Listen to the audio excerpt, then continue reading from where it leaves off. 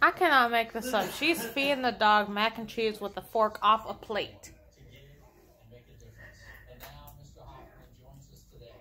Don't give me that dumb look. I got you on video doing it.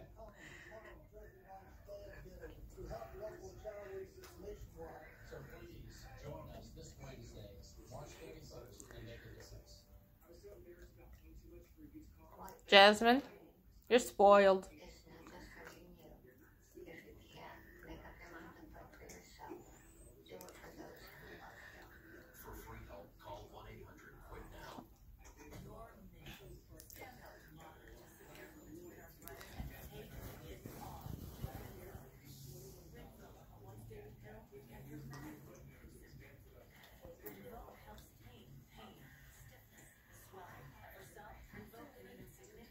And she's already been fed is the worst thing.